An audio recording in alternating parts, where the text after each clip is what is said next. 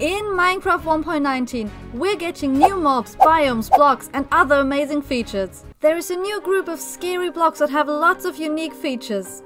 The Sculk blocks. The Sculk sensor detects movement and turns it into redstone signals, perfect for traps and secret entrances.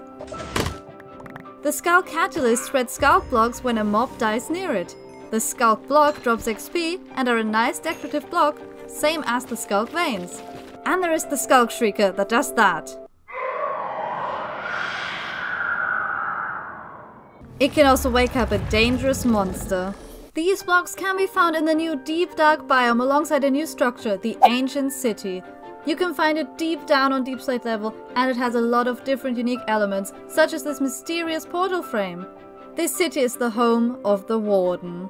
A very strong, if not the strongest mob in the game that can kill you with a few hits wearing full netherite armor. To avoid it, you have to be really quiet or distracted by throwing snowballs in another direction, but it will give you blindness effect, so I hope you remember where you came from. And it can smell you if you stop moving and destroy you with a sonic boom. Scared? You can uninstall Minecraft right now.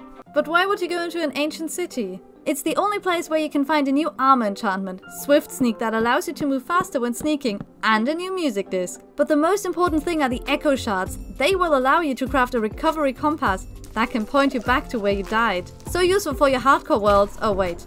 And finally we get a new wood type from the mangrove tree that you can find in the new mangrove biomes. A beautiful swampy biome full of trees. The wood can be crafted into all these beautiful blocks here that will look so wonderful for building. And the coolest is that you can plant the saplings underwater too. We will also get mud that you can get by clicking on dirt with a water bottle and it also generates in the mangrove biomes. You can also turn them into packed mud and then mud bricks which looks wonderful as building blocks. Leaves can now be waterlogged too, which is awesome for decorating. And then there is the chest boat, the most important feature of the entire video. Subscribe now! It offers extra storage for your early game ocean adventures. Next we have the Allay, a cute flying creature that won the Minecraft mob vote. It can pick up items if you give them the same one and it can even bring them to a note block. Basically a flying hopper with delivery service. You can find it in woodland mansions and pillager outposts. Poor Allay is locked up. Another cool mob is the frog. They start as tadpoles and then grow into three variants based on the biome they live in. So they come in three beautiful colors. Which one is your favorite?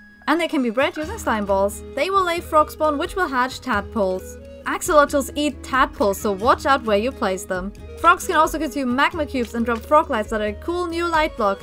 You just need an overworld mob to meet a nether mob. How hard can that be?